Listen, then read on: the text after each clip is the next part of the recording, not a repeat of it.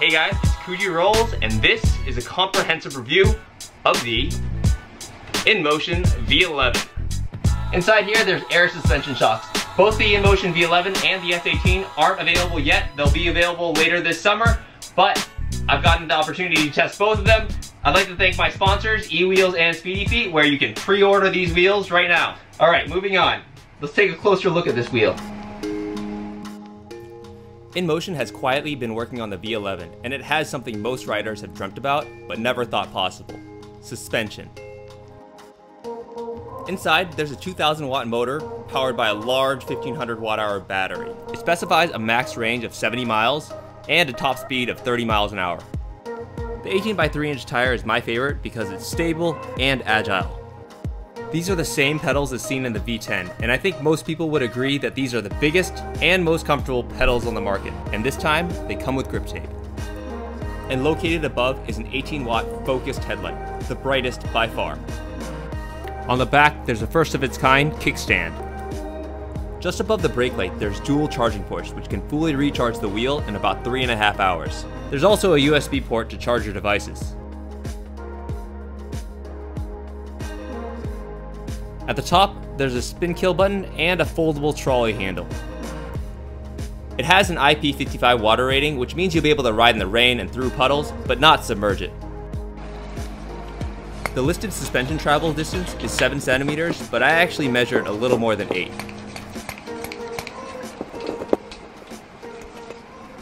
I did want to do a little suspension test.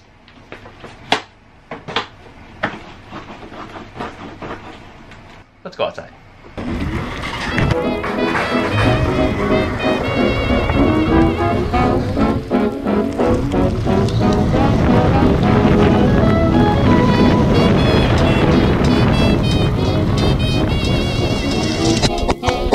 Synced up, I'm at 94% battery life. Let's do a little speed test.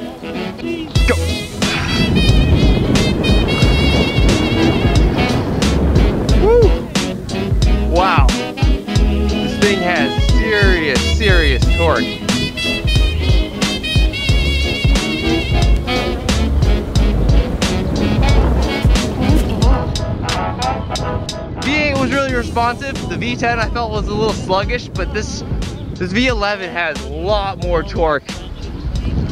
Oh!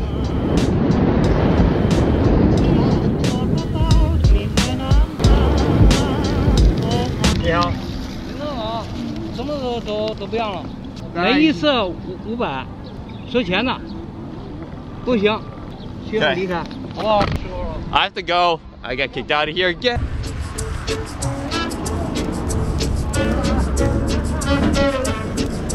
Now the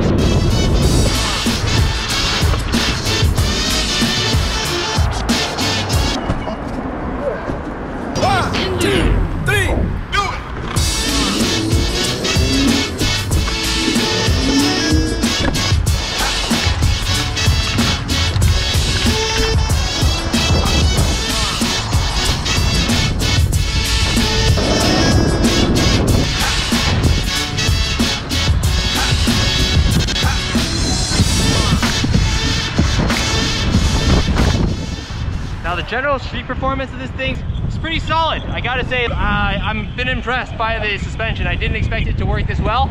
It does eat up a lot of the bumps. I can run over potholes and I can go through the things. I have very good handling. There's no wiggles or wobbles that are occurring.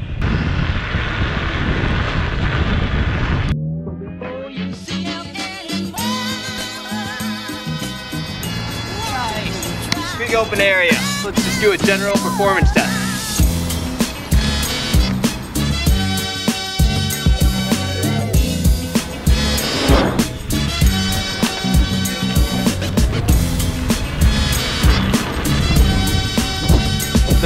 About the turning is that it's very smooth.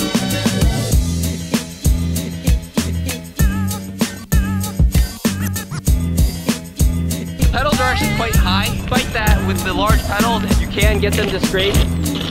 The contact points of like where my shins meet the frame are a little higher than I'd like them to be, but the handling of this thing is really tight.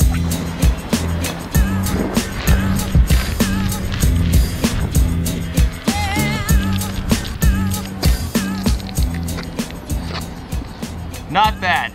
So even though it has a pretty big battery pack, it's a slim design. It's only one layer thick of batteries on both sides. So the center of gravity is really close to the tire, which makes it not want to wobble. They did allow two mounting points for maybe something else to be mounted to this thing. There's a possibility that I can get proper padding on this wheel and get better performance out of it. And if I can, I'll be very happy. These pedals are held up by friction. Now let's talk about the amenities. As always, InMotion has a great spin kill button. So when you pick it up, it doesn't spin. There's a trolley handle, which is under here. There's a little button right here you can press. And it's about the right height you'd want. I like that. It's a one-handed operation, but thing is tall and heavy. Look how tall this thing is. And it's not fun to carry up the stairs. The kickstand is awesome. And you just gotta remember to pick it back up. This is not the direction I wanted to go. I tried to use the sun as a compass and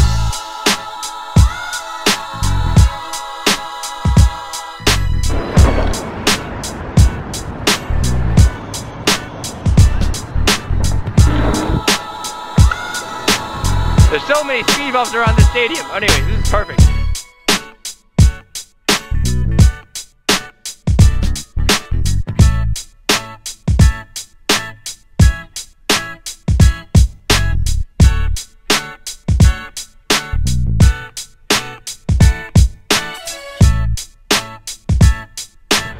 Try these speed bumps with a straight leg.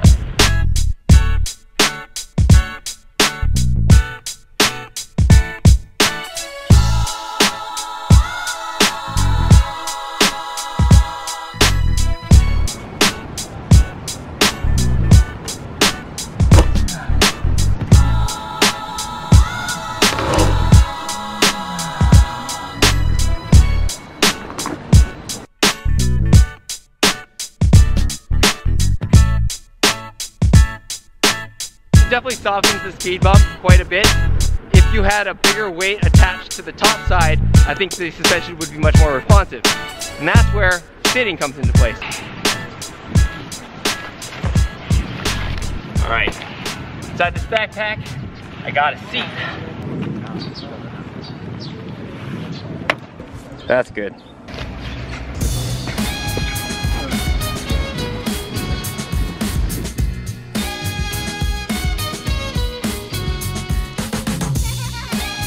Sitting with this. It's much more doable. I can do speed bumps sitting down. This is crazy. This is probably the most comfortable seated ride. I, I'm gonna give the V11 the award of best seated ride. This is the way to go, man. Woo. This is really comfortable because it's actually much taller. All right, let's go take this to the park. Nice day at the park. Yeah. Such blue skies. Oh shit. All right, so things gotten a little better in Beijing and uh, I think I'm a little more comfortable not wearing a mask right now, but more important question is how does this thing do off-roading?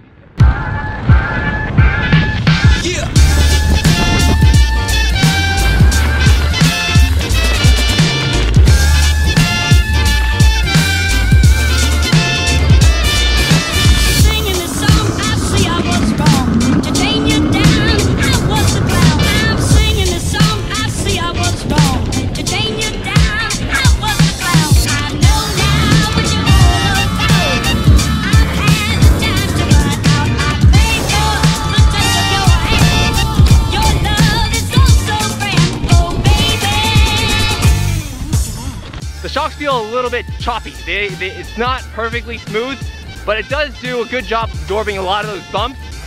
And I don't have that much experience riding without pads, so this is not necessarily the most fair review.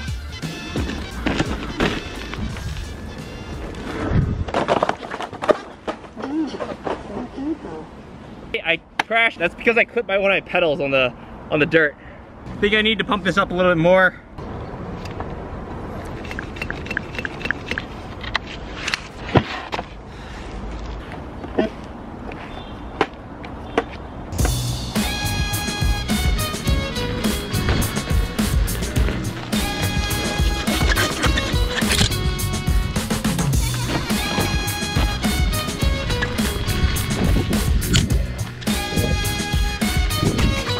Higher suspension pressure, I have way more clearance to go over things, so I'm less likely to pedal clip, but it doesn't feel uh, as smooth over the bumps.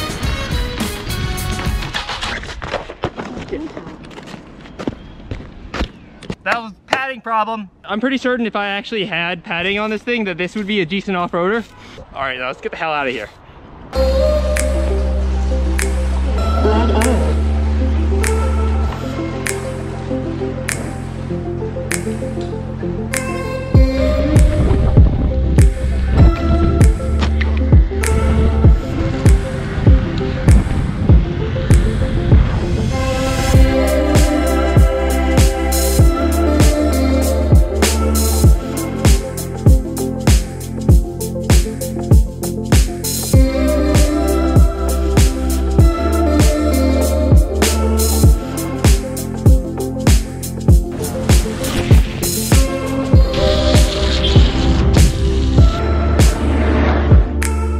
I don't talk about headlights because I'm almost always dissatisfied, but this is the first headlight that I think is good.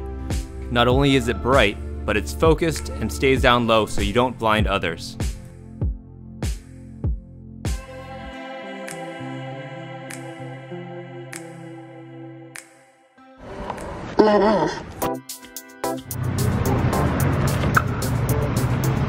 Every other powerful wheel out there is kind of fat and clunky.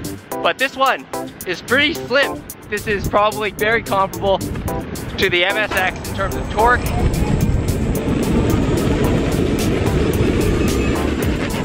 Which is really, um, no one else has been able to do this. It's very controllable, exactly what I'd want it to do. It's not, it doesn't all of a sudden turn harder than you want it to or anything like that. It's just very predictable. The motor control is super smooth. The headlight is amazing. This is the first headlight that I've ever used that I think is acceptable. The suspension works well-ish. Motion suspension is definitely inferior to a design where the tire moves independently. It's just not as responsive. They took the safe route by not having the batteries and the frame separated from the motor to have that wire not flex over and over. And if you're developing something new, you don't want to have that many risks, just more points of failure. But I think Kingsong managed to come up with a design that can allow it to flex safely because it has a lot of slack. The V11 doesn't officially sell a seat yet. I think they're going to be developing one because it makes complete sense. Ah. I don't know why it does this. I always get like half of what their ideal max range is, which is completely bogus because nobody rides around at 12 miles an hour. But 35 miles is exactly what I would have expected anyways. At the end of the day, the V11 is like better than the V10F in every aspect. I can't think of a single situation where I would be like, I would take the V10 over the V11. Oh wait, if I had to carry upstairs, the pedals are really big and comfortable. Suspension works well enough at a lower pressure that it eats up a lot of those bumps, but if you're just like a regular city commuter and you wanna have some fun with some good torque and handling, all of this is pretty solid in the V11. I'd like to thank eWheels and Speedy Feet for sponsoring this video. Everything I've heard about them has been very positive. I'm still waiting for the S18, and before I was still waiting for the V11, I decided to make a new ending for my videos, so let it go. Ready?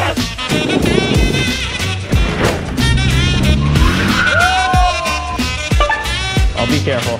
Just makes me want to go outside.